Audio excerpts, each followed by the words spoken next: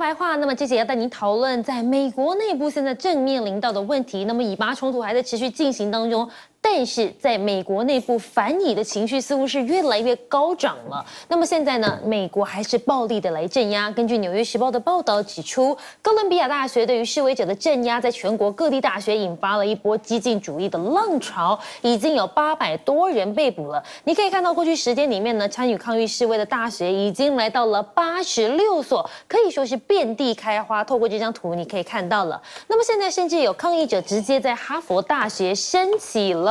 巴勒斯坦的国旗来代替美国国旗。不过，我们还要带您看到一段画面，也就是在美国校园里面的暴力画面。在亚特兰大的艾默里大学，你可以看到呢，教授我看到警察在殴打学生，他想要上前阻止，没想到这个教授公亲变事主，反而他是被抓住了手，然后反扭呢，被压制下来。你可以听到这个教授是不断的发出尖叫，但是呢，这个美国的警力呢，还是以这个优势的人数来将他压制。那这样子的画面曝光，也让很多人是觉得相当的错愕。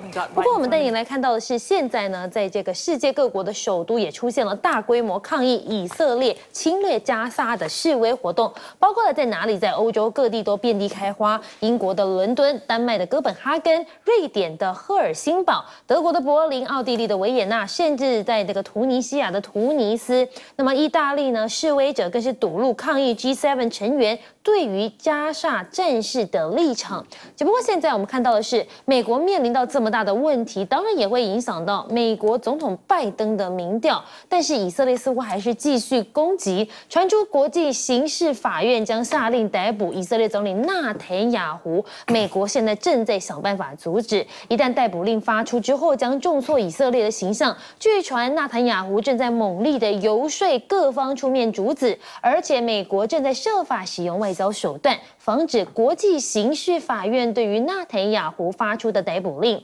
那么，拜登成七十年来现在已经是最不受欢迎的美国总统了。CNN 民调现出一大警讯。根据盖洛普最新的民调显示，拜登啊在任期内的第十三季度的平均施政满意度只有三十八点七，是美国近代史七十年来时任总统当中垫底。你可以看到这个数据表现出来呢，你看拜登真的就是在。最后的的垫底的地方。那么现在呢？有人也把拜登评为最不受欢迎的美国总统。美国、埃及现在都拦不住，以色列在荷兰之前还是要出手发动攻击。然后呢，在空袭拉法造成十三人死亡，也让国际开始瞩目，到底以色列的下一步要怎么做？那现在美国一边扮演调解的人，是不是一边也在磨刀霍霍呢？预期以色列几天内呢会攻拉法，巴勒斯坦的主席现在喊话了：美国，你是唯一能够阻止的国家，拜托你出来说句话吧。他说，因为只有美国能够阻止以色列的攻击加萨走廊南部边境的拉法市。现在拜登跟纳坦雅胡通话，讨论说这个人质协议跟停火，传出现在美国国务卿布林肯也要再度访以色列跟约旦。美国总统拜登与以色列总统纳坦雅胡打了电话，讨论人质协议还有停火的相关事宜。国务院也宣布了，国务卿布林肯也要到以色列跟约旦去访问了。只不过沙地阿拉伯的国家峰会说将聚焦在加萨这个点上。外交人士呢，他们说了，阿拉伯跟欧洲高级外交官本周末将在沙国首都举行这个经济峰会，主要来讨论以色列跟哈马斯在加萨的战争。不过我们可以看到，布林肯即将访问中东。他也提到了要讨论加萨跟区域的安全。不过你看哦，这个美国其实还是有动作，是不是为了要震着伊朗？美军第二航母艾森豪号现在也抵达了地中海东部，也引起了大家就说了，这个美国一边在调停，是不是一手又在磨刀了呢？我们先来请教一下亮哥，现在在美国，当然了，示威是遍地开花，而且这个手段好像是越来越激进了。我这个布林肯这是第七次去中东啊。那过去历史已经证明完全无效，而且他一方面在斡旋，一方面又给以色列武器，唱双簧，黑白脸，太明显了。所以布林肯赶快回家吧，哦，是没有任何作用的啦。事实上，与此同时啊，我们看到布林肯去访问北京的时候，事实上北京还发生另外一件事啊，就是约旦和西岸的巴勒斯坦政府法塔赫。跟哈马斯在北京见面了。嗯哼，他们等于在那边搞大和解啊，这有点类似伊朗跟沙特阿拉伯在北京搞大和解。北京这个才是正办啊，因为你加沙怎么可能让以色列永远军事占领？你最终一定要巴勒斯坦政府过去治理吧？那治理你跟哈马斯没有一个妥协，你怎么治理啊？所以人家已经都在做最终局的部署了。然后你你你布林肯在干嘛？布林肯在谈说，哎呀，人质可以早一点放啊！我跟你讲这个议题啊，以色列拒绝了嘛。嗯哼，以色列就是不要这个议题嘛。事实上，哈马斯就是这样提啊。哈马斯说，我全部的人质都放，那你以色列撤军好不好？以色列拒绝啊。你布林肯不知道吗？连我都知道啊，你怎么不知道呢？所以我就不知道他来干嘛哦。你事实上最该做的就是去阻止以色列打拉法，可是显然美国已经默许了嘛。嗯哼，就以色列快打了嘛，大家都预期这个礼拜就会发生，所以这个事情就是跟美国各地的学运是联动的嘛。我跟你讲啊，拉法那个地方，以色列即使是打的再局部、再小规模，都是人间地狱了。嗯，因为那边的人口密度实在太高了啦，啊，那他们也没地方去了。所以一定是死伤一堆啦，到时候你去看美国的学生会怎么反应？我认为一定会激进化了。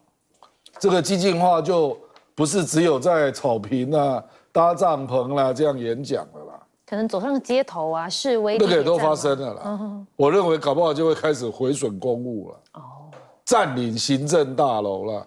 这个在反越战的时候都发生过啊。我学生运动会怎么上纲，我太清楚了啦，就是。讲诉求都没用，你没看太阳花就去占领行政院了，占领立法院了，那台湾都会这样搞，你以为美国学生不会这样搞啊？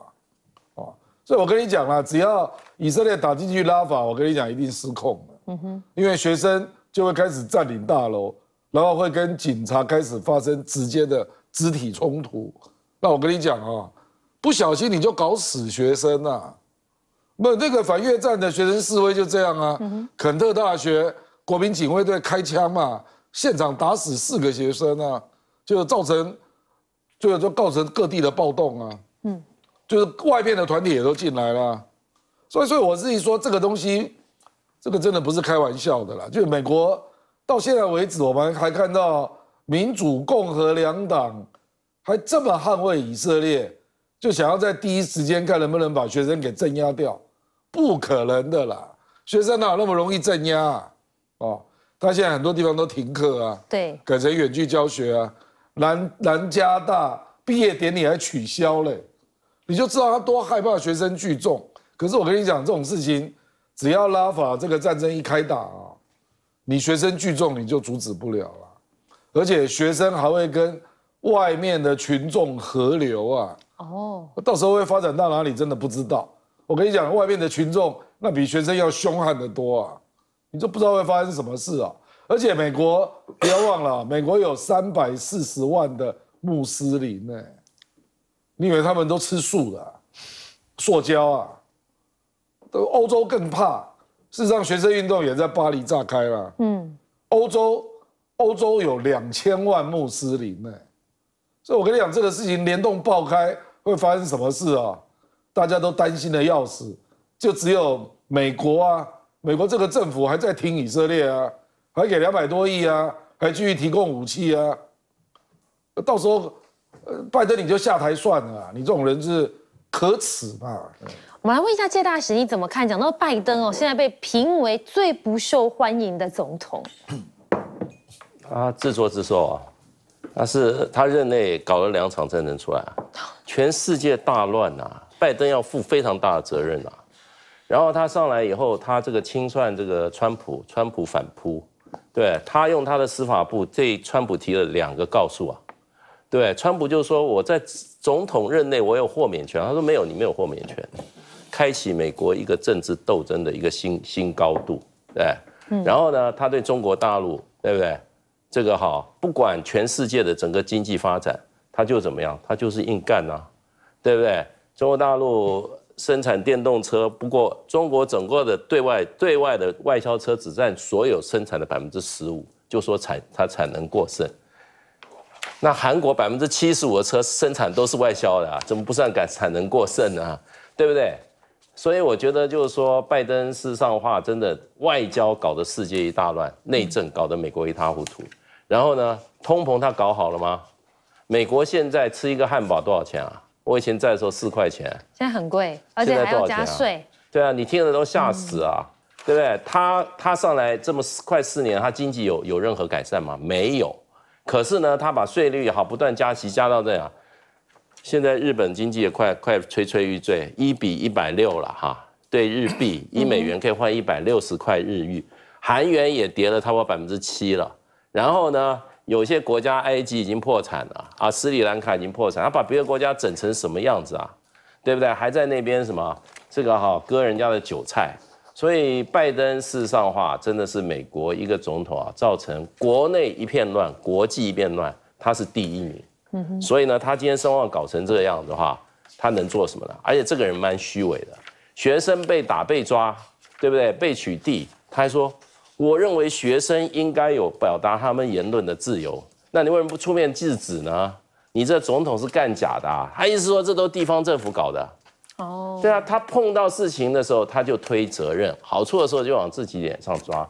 所以我觉得啊，美国有这个拜登这个总统啊，是美国的不幸，更是这个世界的一个祸害。这个俄乌战争事实上会开打的话，跟当时拜登的政策有非常大的关系。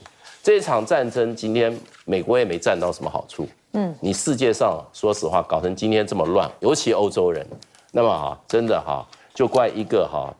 一个领导者，他的无能跟他怎么样？他道德上的瑕疵啊，这个会带来都是灾难的。你不要以为领导者天天哇在那边多那个，他对我无害。所有的灾难，世界上的灾难都是那些政治领导者所造成的，大灾难都是他们是都造成的。那大的这些哈好的事情跟他们有关的比较少，人民自己努力。可是大的灾难，你看历史都是像拜登这种哈无德无能。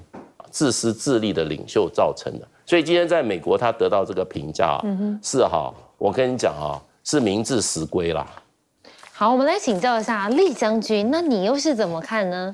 哎，我特别要说哈，这个拉法这场人类的最大的一个浩劫，即将在我们眼皮底下就要开始上演了。以军进攻拉法是绝对是势在必行，如箭在弦上。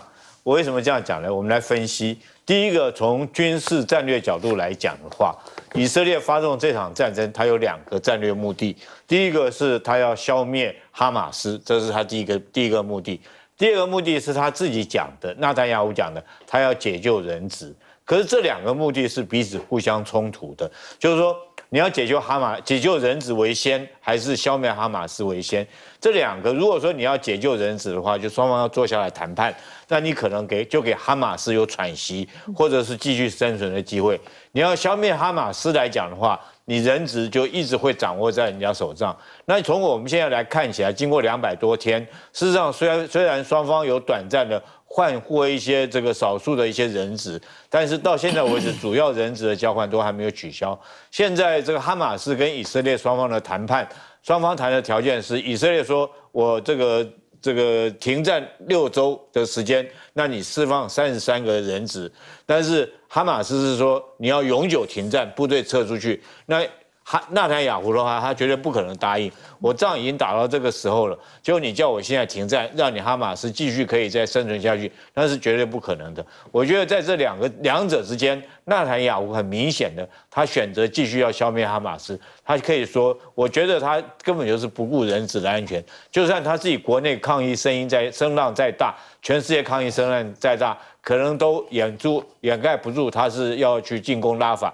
第二个，我从最近的这些双方的一些军事。战术行动来看的话，我们那天看到他从加沙撤出来一个师，我们都以为双方有缓和的迹象，结果搞半天他是把这个师撤出来，目的是在什么？是在对伊朗要开战，嗯，对不对哈？他把他这个部队撤回来，保护他自己以色列本土，然后对伊朗发动战争，伊朗发动打击他的大使馆，然后干嘛？当伊朗这边局势已经比较这个缓和之后，已经没有这种缓和之后，他现在又立刻进军到拉法地区去。